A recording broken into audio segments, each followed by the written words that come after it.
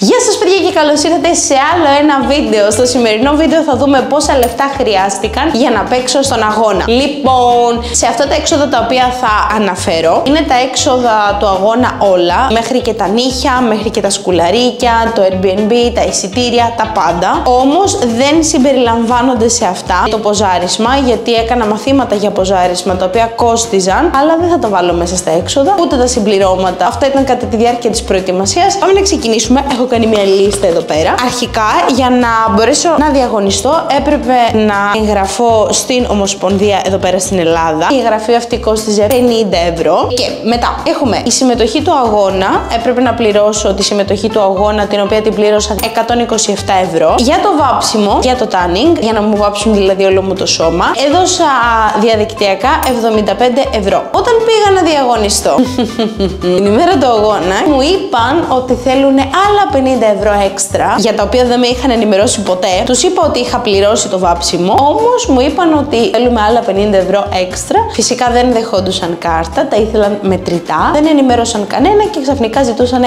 άλλα 50 ευρώ. Οπότε πρακτικά κόστησε 125 ευρώ. Το μακιγιάζ που μου έκαναν για τον αγώνα, η κοπέλα στην οποία πήγα, ήταν και από τις πιο φθηνές μάλιστα. Στην Νορβηγία οι τιμές για το μακιγιάζ ήταν πραγματικά στα ύψη. Κόστιζε 70 ευρώ. Οι κοτσίδε τις οποίες έκανα και μου τις έκανε η Δήμητρα, η κοπέλα του αδερφού μου, οπότε δεν πλήρωσα κάτι. Παρ' όλα αυτά, μίλησα για μαλλιά με άτομα από την Νορβηγία. Ρώτησα πόσο κάνει το χτένισμα αυτό. Στην ουσία ήθελα να μου κάνουν δύο απλές κοτσίδες. Κόστιζε 85 ευρώ. Τα οποία 85 ευρώ τελικά δεν τα έδωσα. Τα μαλλιά μου τα έκανε η Δήμητρα και την ευχαριστώ πολύ. Τα νύχια για τον αγώνα, χέρια ή πόδια, κόστησαν 60 ευρώ. Τα σκουλαρίκια συν τα extension 10 ευρώ. Τώρα, κάποια πράγματα που χρειάστηκε να αγοράσω για τον αγώνα δεν τα έβαλα στα έξοδα του αγώνα. είναι καλό να τα βάλουμε. Αγόρασα ένα πραγματάκι που σας είχα πει για να κατουράνω όρθιες οι κοπέλες. Αυτό εδώ πέρα μου κόστησε 25 ευρώ. Και για τον αγώνα το πήρα, δεν το χρειαζόμουν. Για κάτι άλλο. Κάτι άλλα ψηλά, όπως είναι για παράδειγμα στρωματάκι, λάστιχα, ρόμπα κτλ.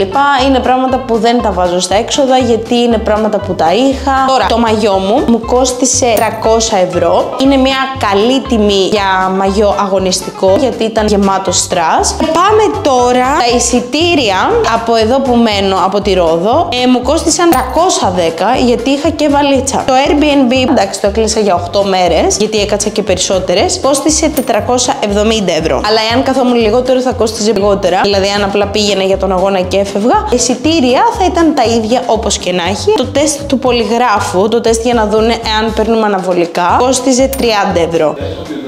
good afternoon, Mr. Church, and Πολύ σωστά. Στην ουσία μετράνε τους καρδιακούς μας παλμούς, μας ρωτάνε αν έχουμε πάρει αναβολικά και διάφορες άλλες ερωτήσεις και εμείς απαντάμε, διαβάζουν τους παλμούς μας και βλέπουν εάν λέμε ψέματα. Αυτό είναι το τεστ του πολυγράφου. Βέβαια, εγώ πλήρωσα και έξτρα κάποια πράγματα πέρα από όλα αυτά, γιατί έχασα την πτήση μου. Αν έχετε δει το βιντεάκι στο οποίο απαντάω τις ερωτήσεις που μου κάνατε σχετικά με τον αγώνα, θα το γνωρίζετε. Αλλά εάν δεν το έχεις δει, το αφήνω κάτω στην περιγραφή. Ναι, έχασα την πτήση μου, οπότε πλήρω πλήρωσα μία έξτρα πτήση.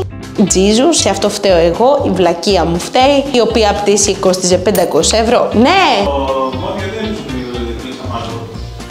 Ναι. Επίσης, επειδή κάναμε ένα λάθος και κλείσαμε ιδιωτικό δωμάτιο και όχι ιδιωτικό διαμέρισμα, όπως έχω αναφέρει και στο vlog του αγώνα, αν δεν το έχεις δει ούτε αυτό, ελαιώ να πας να το δεις, το αφήνω και αυτό κάτω στην περιγραφή. Πρακτικά συγκατοικούσαμε με την κοπέλα που είχε το σπίτι. Δεν μπορούσα να ποζάρω, δεν μπορούσα να τραβήξω βίντεο, δεν μπορούσα να κάνω βασικά πράγματα για τα οποία είχα κλείσει το σπίτι, δεν μπορούσα να μαγειρέψω. Αναγκαστικά έκλεισα ένα ακόμη Airbnb. Πλήρωσα δύο φορές και το Airbnb. Οπότε εκεί δώσαμε άλλα 400 ευρώ έξτρα. Αν δείτε μια κοπελίτσα που στο δρόμο με ένα ποτηράκι μπροστά, μπορεί να είμαι εγώ. Σε ένα άλλο βιντεάκι μπορούμε να δούμε πόσα χρήματα χρειάζεται για τη διατροφή και τα συμπληρώματά μου. Τα λέμε σε επόμενο βίντεο. Bye!